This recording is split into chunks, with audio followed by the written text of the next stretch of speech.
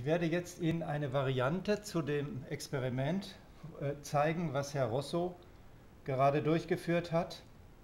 Ein paar Dinge sind leicht verändert.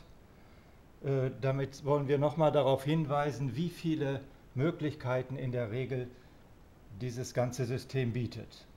Die erste Änderung, die ich gemacht habe, ich habe das Reagenzglas, was Herr Rosso benutzt hat, ersetzt durch eine Spritze. Habe also die Spritze direkt schon angeschlossen an das ganze System, sodass ich das Flüssiggas jetzt einfach über diese Kanüle hier einfülle. Ist auch ganz praktisch, dass man sofort an der Skala ablesen kann, wie viel vom Flüssiggas man eingefüllt hat. Mit einem Milliliter kommen wir für das Experiment sehr gut aus.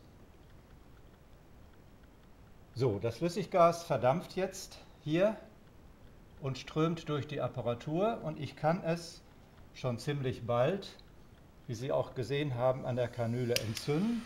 Wir probieren schon mal unser Glück.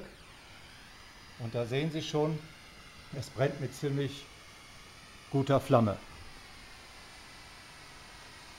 So, nun kann ich schon damit starten, mit dem Experiment. Werde den Brenner jetzt ruhig voll aufziehen, der Brennerflamme. Und Sie werden jetzt gleich sehen,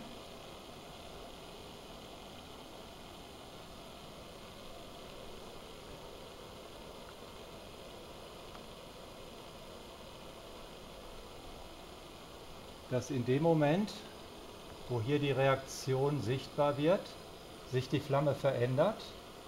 Ich glaube, man kann es jetzt schon sehr deutlich erkennen. Ich gehe mit dem Brenner noch etwas weiter rüber.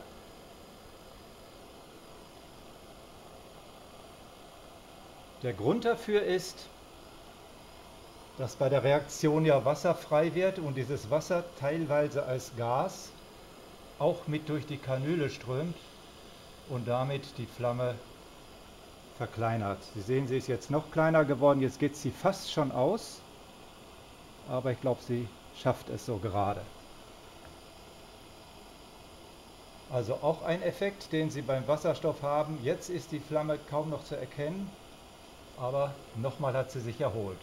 Ich werde sie trotzdem jetzt mal eben löschen, damit wir die Kalkwasserprobe nicht vergessen. So, und das geht blitzschnell, Sie sehen es schon.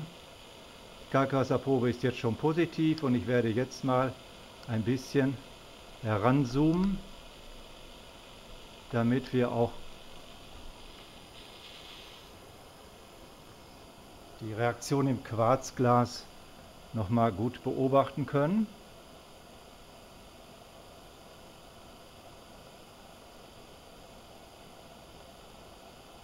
So, ich denke, Sie konnten jetzt erkennen, dass wir im Grunde genommen jetzt überall die Reduktion des Kupferoxids vorgenommen haben. Ein paar Stellen sind noch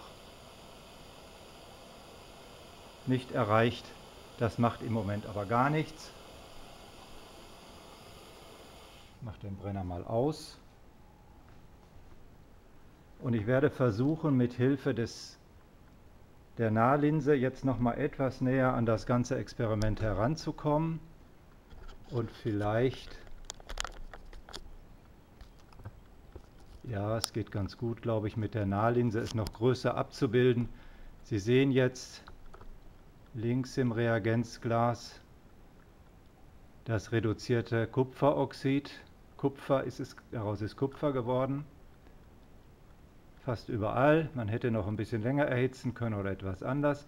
Und mir ging es jetzt darum, dass man auch jetzt im Reagenzglas zusätzlich, vielleicht wenn man nochmal das ein bisschen dreht, zusätzlich erkennt, dass dort Wasser entstanden ist.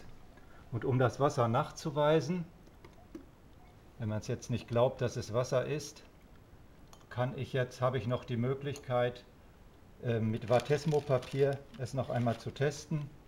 Will ich mal ganz kurz machen. Ich nehme ein bisschen Battesmo-Papier, schiebe das in das Röhrchen und Sie sehen schon, hoffentlich, nein, die Kamera stand nicht gut, wie dieses Papier sich sofort blau färbt. Das ist also der Nachweis, dass wir neben dem Kohlendioxid auch noch Wasser erzeugt haben bei dieser Reaktion.